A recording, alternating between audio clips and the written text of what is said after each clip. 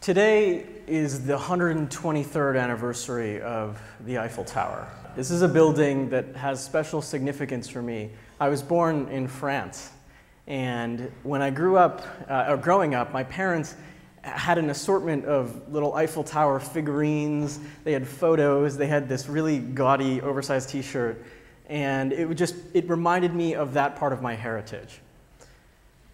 In 1889, when it opened, it was the world's tallest building, and that was a title that it held for around 40 years.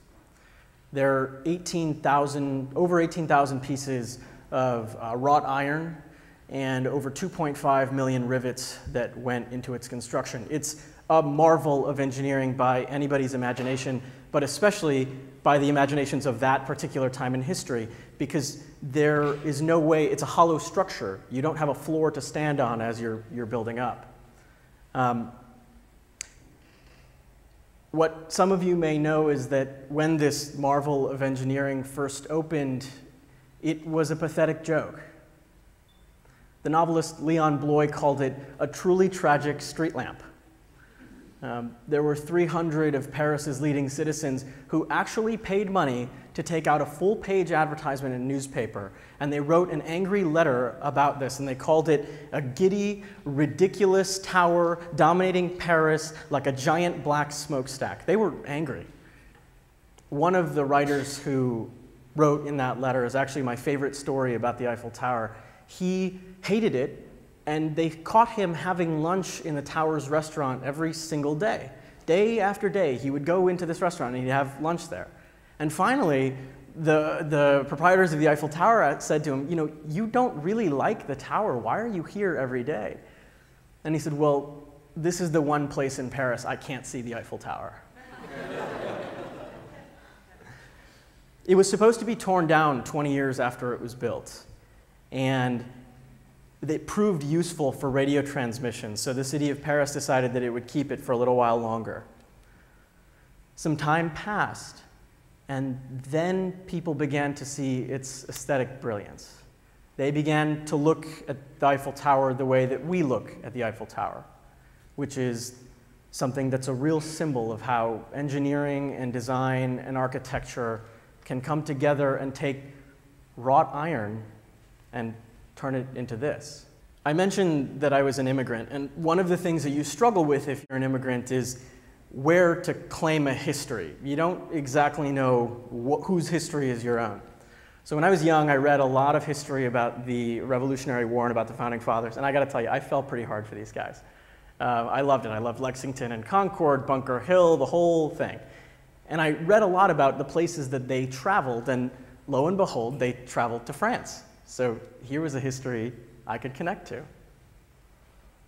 One of the people that I became most interested in was John Adams, and his time in France also is the most time that he spent away from the other interesting figure in the Adams pair, which is his wife, Abigail Adams. And the intriguing thing about that partnership is I, I, it, it has to be, by anybody's estimate, the world's most historically significant long distance relationship.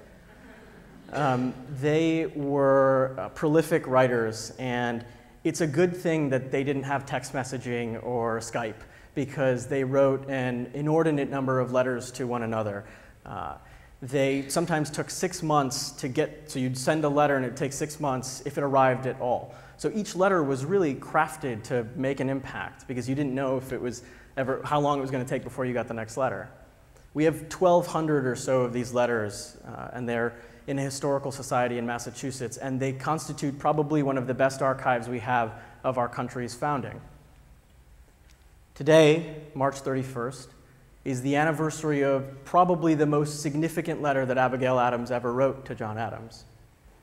It was 1776, and John Adams was away at the Continental Congress, you know, just finishing up the Declaration of Independence. She knew that, she knew what was going on. And she wrote to him, and her lines were I long to hear that you have declared an independency.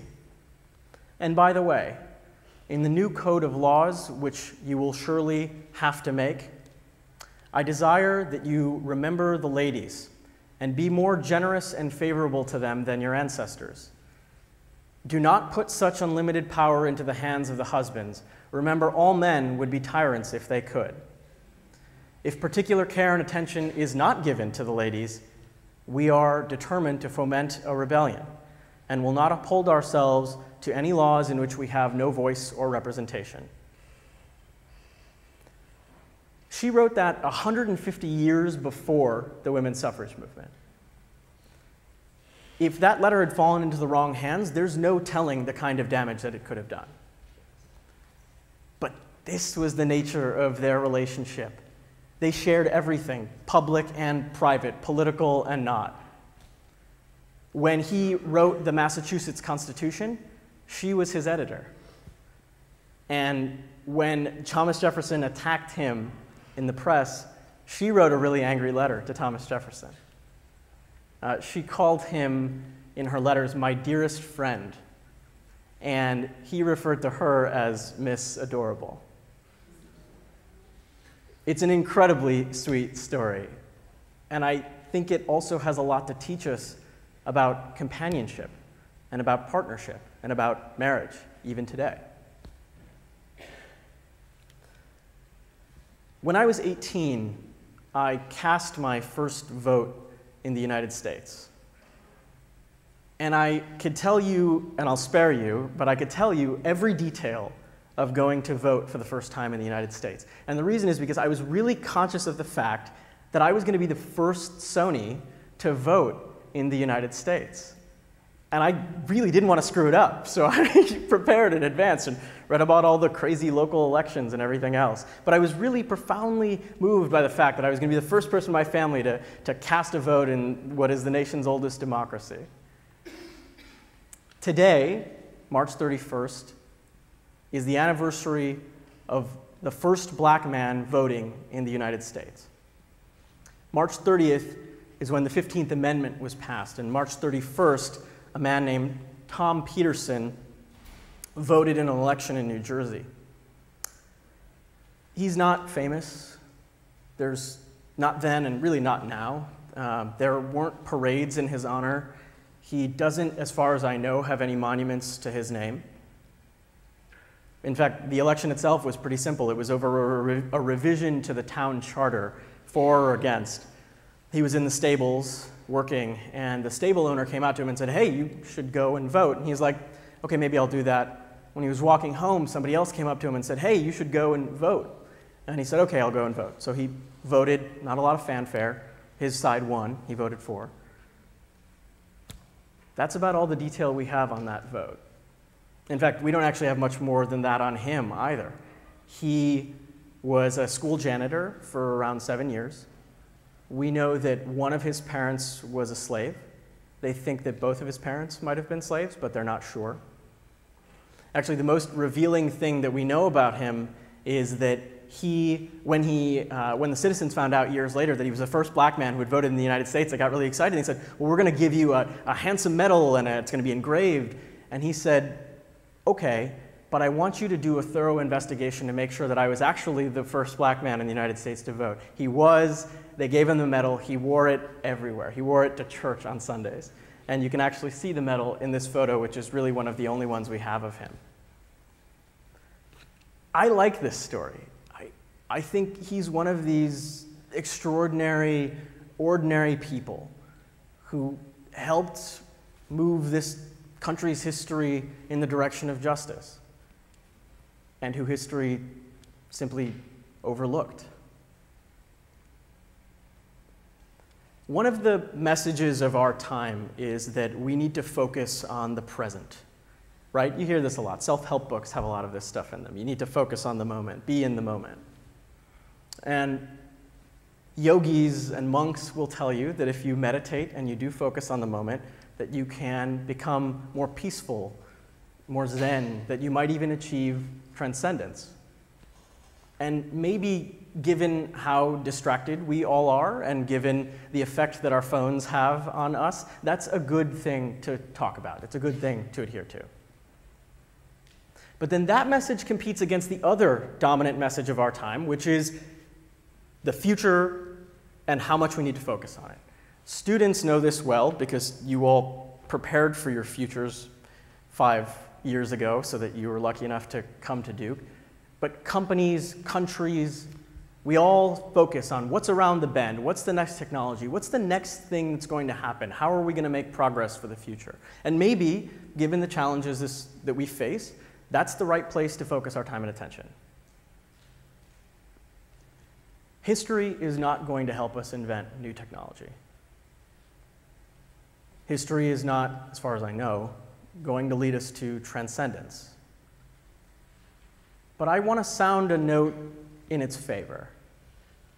I think we can make our present richer, and I think we can make our future brighter if we spend some time returning to our origins. If we figure out who we are, why we are the way we are, and what made us that way.